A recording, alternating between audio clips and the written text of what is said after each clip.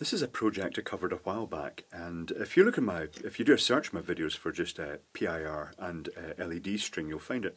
It was basically how to use one of the standard Arduino PIR modules with a simple uh, transistor module to drive strings of LED lights. And one of the nice things about these passive infrared modules is they can see through uh, the polythene type plastic, so the kitchenware, you can actually put it in waterproof kitchenware outside the battery pack and the sensor itself and it will be able to see to a modest range through that sort of plastic.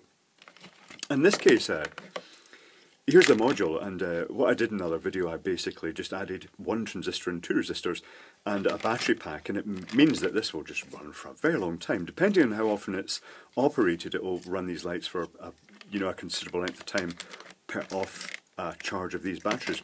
However, uh, what I was going to do this time is pull the module off. Now this is a very standard module. It's, it's uh, If you do a search on eBay for Arduino PIR, you'll find these modules. They're cheap and readily available. They're just one of the most common PIR modules on eBay. And interestingly, they have a facility on a lot of them for adding, they've got a couple of extra pads for a light sensor. Because as it as standard, it will just operate day and night. And you know, if you're controlling Christmas lights, maybe that's not a bad thing, but it, you know, it would be nice in some instances to uh, have them come on just at night time when they're really sort of more going to be more visible. So I've got an LDR. Uh, this came from eBay in a huge pack, as is the case, because you know they're so cheap. You can just go on eBay and buy big packs of components like this from China because they are so common. And if I can find the paperwork regarding this, so here is the uh, data sheet, well part of the data sheet for the BISS 0001 chip, which is a very common chip here. And it's got an input in pin number 9, VC trigger disable input. And basically speaking, um, if that pin in voltage and that pin goes above 0.2 volts, it enables it, but if it goes below 0.2 volts, um, it's disabled. So what this uh, L LDR does is it's going to actually in daylight it's going to pull that down so it is actually that pin so it is disabled. And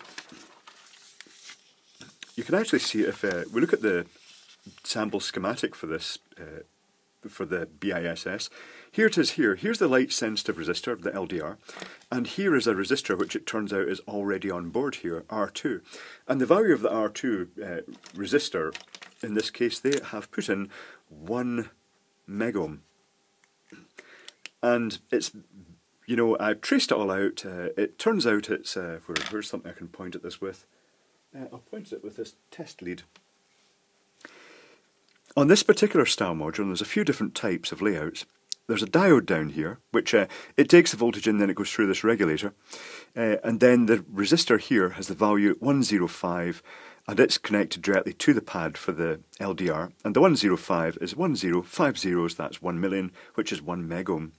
So let's uh, cut to the chase and solder this in. So the two pads are clear and ready to accept the LDR, so I'm just going to shove that down like that.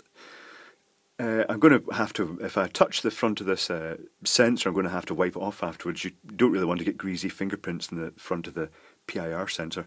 And I'm just going to get some solder and I've already just touched the sensor, but that's, I guess, that's just what's going to happen because it is your fingers in the immediate vicinity of that. And I'm just going to solder these leads right now.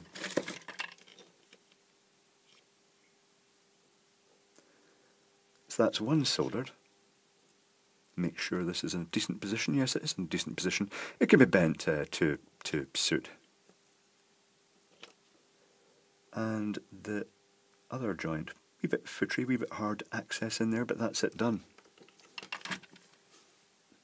So let's get the snips. I'll use the generic Chinese eBay snips for this. And I'm going to bend this fairly close to to the uh, sensor just so I can get the cover over it.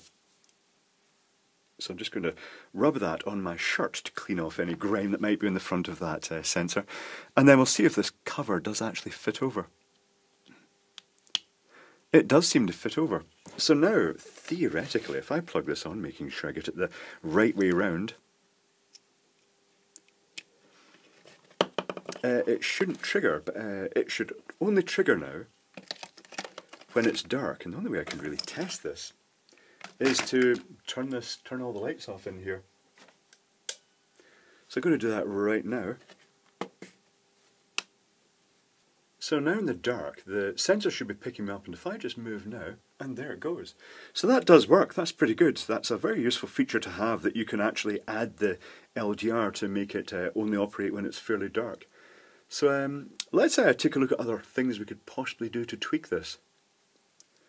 So if you found that this was actually coming on to, you know, when it was a bit too dark, which it seems actually a modest sort of uh, it seems uh, quite a good combination, the 1 megohm resistor and the, the, LDR.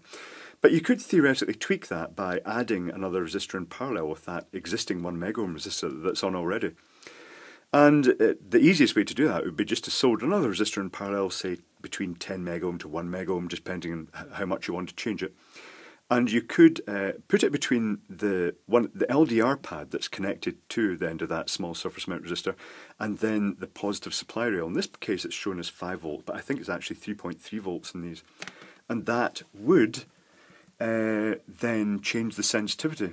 So it's got scope for experimenting, and of course, if you decide you want to revert back to having it uh, just lighting during the day as well as night, you could just then either just cut that out completely or just cut one lead and just bend it up for reconnecting later on.